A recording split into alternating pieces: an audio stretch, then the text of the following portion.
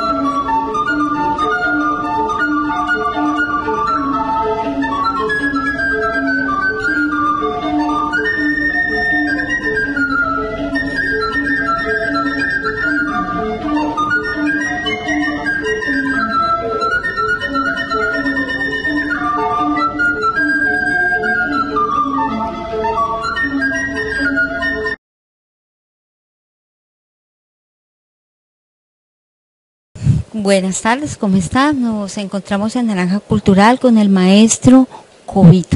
¿Cómo está, maestro? Muy bien, gracias. maestro Cobito en el día de hoy dio una clase magistral de flauta, de muchas flautas. Yo vi bastante tipo de flautas y, bueno, bienvenido a Naranja Cultural, maestro. No, muchas gracias, muchas gracias por tenerme como parte de la naranja. Sí.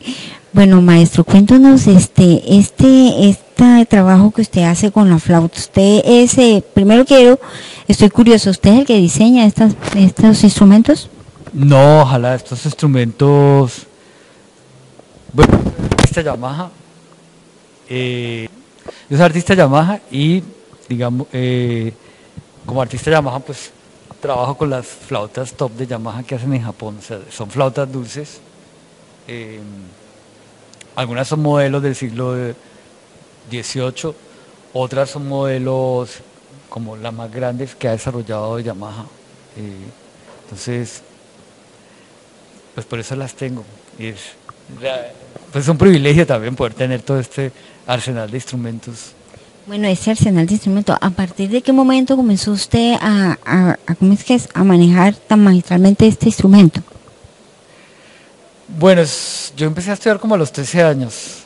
Luego, eh, bueno, entré a la universidad a estudiar música y empecé a ser como el profesor de, profesor de mis compañeros porque eh, no había más, o sea, como hay tan pocos flautistas.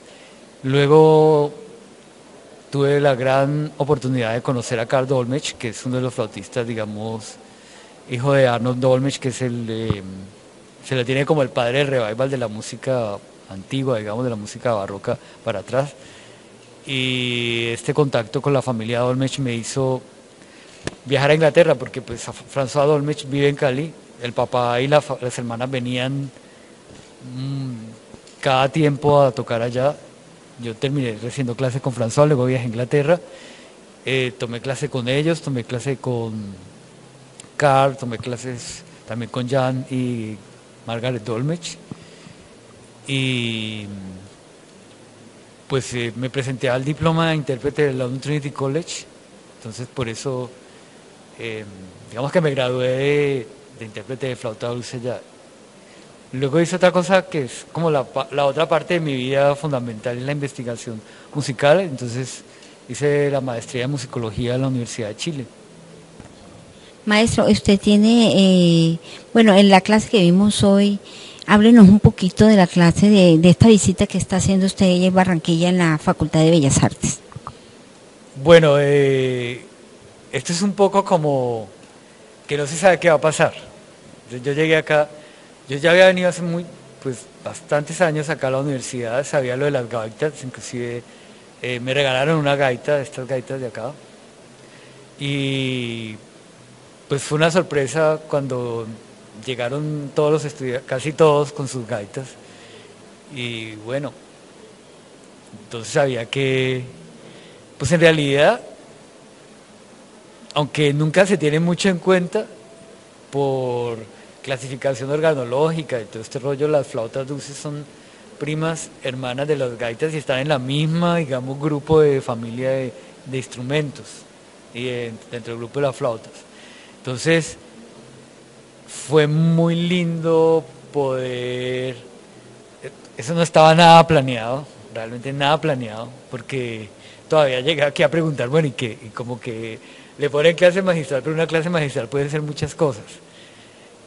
Eh, hablar solo de la pedagogía la flauta, entonces, pues fue muy lindo poder, poder tener a todos estos gaiteros acá, todas estas estudiantes que tocan gaita, y juntarlo.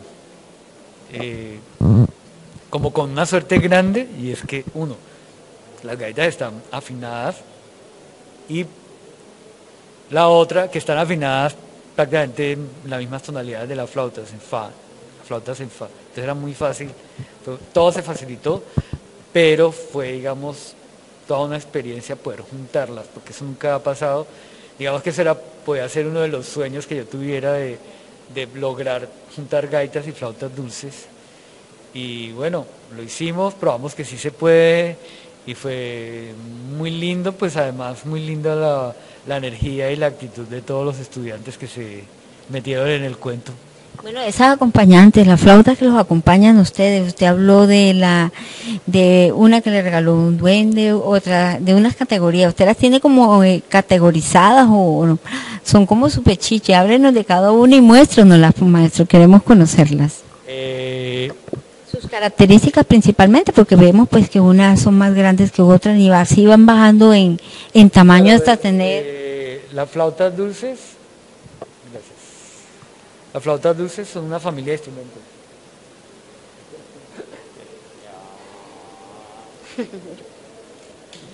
Bueno, aquí estamos con esta, está, pues, ¿cómo le llamamos a, a este instrumento? Es Las flauta. flautas, las flautas dulces son una familia de instrumentos.